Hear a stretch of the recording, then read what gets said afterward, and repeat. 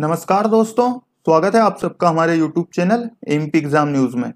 आज की इस वीडियो में हम जानेंगे 6 अक्टूबर 2021 के मध्य प्रदेश करंट अफेयर्स के बारे में। इसलिए आप इस वीडियो को पूरा लास्ट तक ज़रूर देखिएगा। और अगर आपको इसका पीडीएफ चाहिए तो आप हमारा ये टेलीग्राम ग्रुप ज्वाइन कर लीजिए इसमें आपको daily Madhya Pradesh current affairs की पीडीएफ मिल जाया करेगी।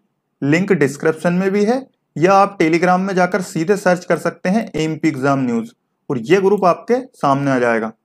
चलिए शुरू करते हैं आज का मध्य प्रदेश करंट अफेयर्स लेकिन उससे पहले जानेंगे कल के प्रश्न का उत्तर, जो हमने आपसे पूछा था। प्रश्न था, गरीबनाथ का मेला मध्य प्रदेश के किस ज़िले में लगता है? तो यह लगता है मध्य प्रदेश के शाजापुर ज़िले में। गरीबनाथ का मेला मध्य प्रदेश के शाजापुर ज़िले में लगता है और मध्य प्रदेश में सर्वाधिक मेले किस ज़िले में लगते हैं? ये लगते हैं उज्जैन ज़िले में।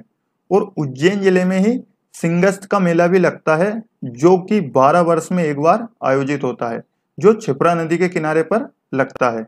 और प्रदेश में सबसे कम मेले किस ज़िले में लगते हैं? ये लगते हैं होशंगाबाद ज़िले में। यह है आज का प्रश्न इसका उत्तर आपको कमेंट में देना है कि भारत का डेट्रायट किसे कहा जाता है? पीतमपुर को, बुधनी को, मंडीदीप को या पीलूखेड़ी को? इसका उत्तर आप सभी कमेंट में ज़रूर दें।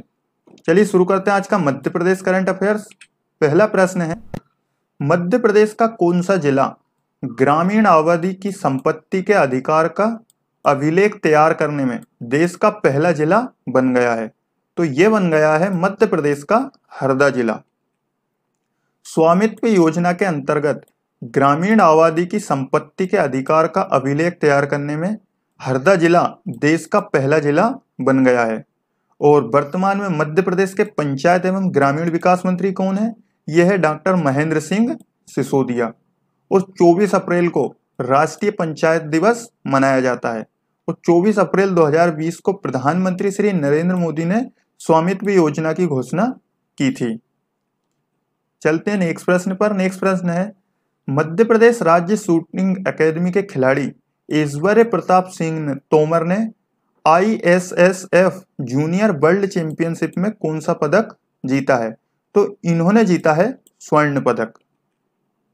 मध्य प्रदेश राज्य शूटिंग एकेडमी के खिलाड़ी और टोक्यो ओलंपियन श्री ऐश्वर्य प्रताप सिंह तोमर ने आईएसएसएफ जूनियर वर्ल्ड चैंपियनशिप में स्वर्ण पदक जीता है। इन्होंने इस चैंपियनशिप में चार अंक अर्जित कर जूनियर वर्ल्ड रिकॉर्ड बनाया है। वो मध्य प्रदेश राज्य शूटिंग एकेडमी कहाँ स्थित है? यह राजधानी भोपाल में स्थित है। आप देख सकते हैं, डायरेक्टरेट ऑफ़ एमपी स्पोर्ट विभाग का कटआउट है।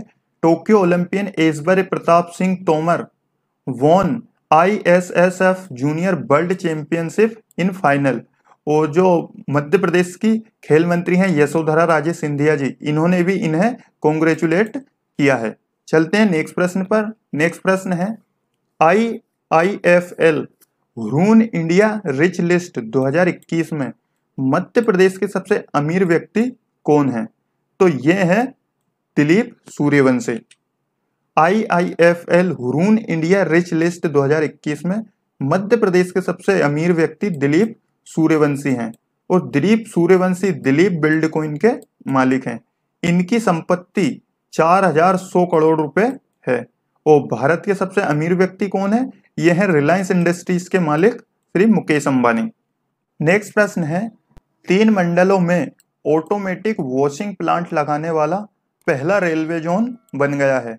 तो यह है पश्चिमी मध्य रेलवे तीनों मंडलों में ऑटोमेटिक वॉशिंग प्लांट लगाने वाला पहला रेलवे जोन पश्चिमी मध्य रेलवे बना है।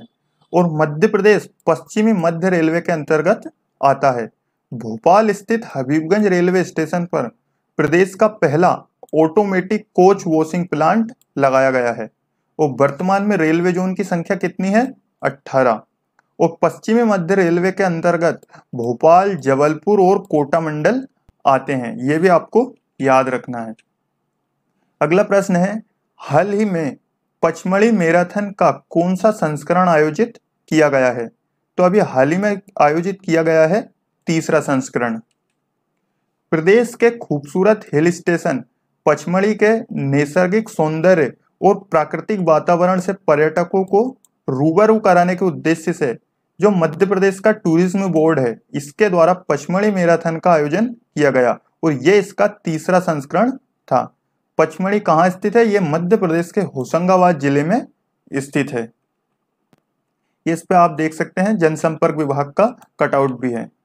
अब हम करेंगे मध्य प्रदेश करंट अफेयर्स के कल के प्रश्नों का रिवीजन। चलिए शुरू करते हैं। पहला प्रश्न था, हाल ही में मुख्यमंत्री श्री शिवराज सिंह चौहान ने कौन सी योजना लागू करने की घोषणा की है? तो यह इसका सही उत्तर होगा, उद्यम क्रांति योजना। अगला प्रश्न है, निम्न में से कौन सा एक्ट मध्य प्रदेश सरकार लागू करने जा रही है? तो इसका सही उत्तर है option number B, titling act 2021 अगला प्रश्न है हाल ही में चर्चा में रहे नेहा राठौर और विवेक राठौर का संबंध किस ज़िले से है? तो इनका संबंध है मध्य प्रदेश के देवास ज़िले से। यह अगला प्रश्न, मध्य प्रदेश के किस विभाग ने शिशु मृत्यु दर कम करने के लिए एस डबल एन एस अभियान शुरू किया है? तो ये किया है मध्य प्रदेश के स्वास्थ्य विभाग ने। यह अगला प्रश्न, मध्य प्रदेश के किस गणेश मंदिर को गणेश संग्रहालय में बदला जा रहा है? तो ये बदला जा रहा है मध्य प्रदेश के खजराना गणेश मंदिर को, और ये इंदौर में स्थित है। ये था हमारा आज का मध्य प्रदेश करंट अफेयर्स आपको कैसा लगा? अगर अच्छा लगा हो तो वीडियो को लाइक करें और हमारे चैनल को भी सब्सक्राइब ज़रूर करें।